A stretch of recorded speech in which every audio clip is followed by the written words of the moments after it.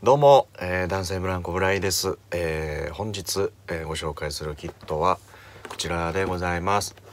えー、寿屋の、えービッグバイパーでございます、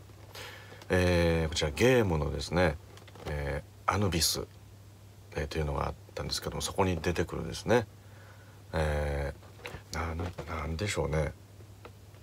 オービタルフレームじゃねえわ。なんだ。ロボットまあロボット。なんですけれども、えーこれがですねもともと好きでこのキャラクターが。でこれが発売されたの結構もう34年か45年ぐらい前なんですけども買ってそのままにしていたのを、えー今回ですね、えー罪を消化するということでこちら開けて作りたいと思います。はい、箱の中は、えー開けてみたところでございますこちら組み立て説明書ねかっこいいイラストとともにます。しっかり大きめのキットなので、えーたくさんね細かいパーツが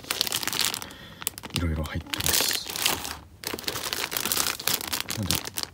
一応これもねマルチカラーなので組み立てるだけでイメージに近いものが組み上がるようになっていますね。ちゃんとアヌビスのタイトルがプリントされた、えーフライングベースが付属しています、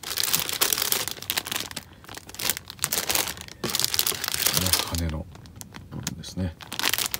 でもね可変する機体なのでその辺りを、ね、どう再現しているか気になるところですね。頭部のパーツは、えーご覧のようにカメラがクリアパーツになっています。で、えーポリキャップですね。そして、デカールが付属しております。さあそれではビッグバイパー組み立てていきます。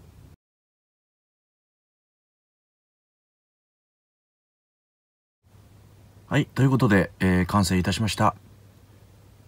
こちらビッグバイパーでございます。えーこちらねアヌビスの、えーキャラクターですけれども。すごくね全身をもう普通の、ね、ガンダムとかそういう系のロボットとは違う独特な、えーシルエットでございます。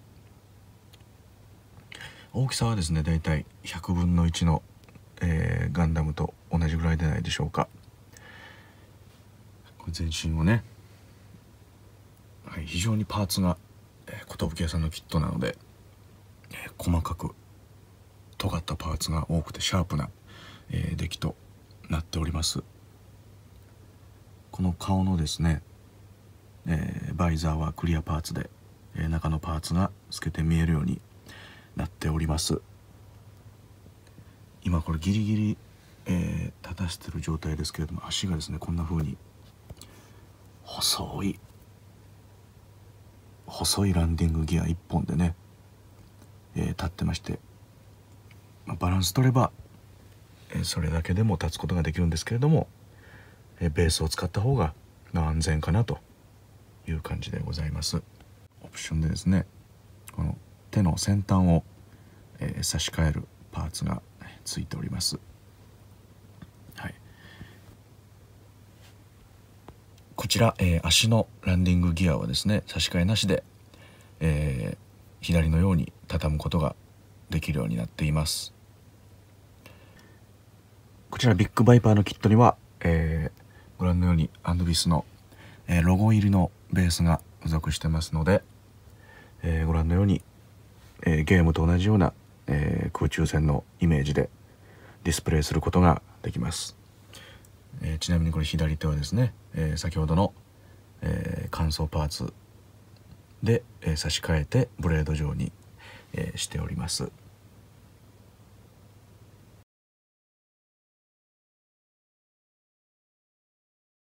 えー全身各部が変形しまして、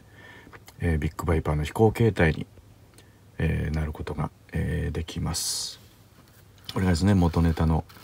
えーゲームのグラディウスの、えービッグバイパーのシルエットにね、えー近くなるという、えーことでございます、全身がねかっちり変形してですねしっかりと、えー、飛行形態を、えー、通ることができます。でもちろん、えー、この状態でディスプレイベースで、えー、飾ることができるようになっています以上、えー、寿屋、えー、アノビス版ビッグバイパーの、えー、すぐみのご紹介でした、えー、これはねちょっと塗装してデカールを貼ったやつもまた、えー、後々アップできたらなと思いますのでそちらも是非、えー、ご覧ください。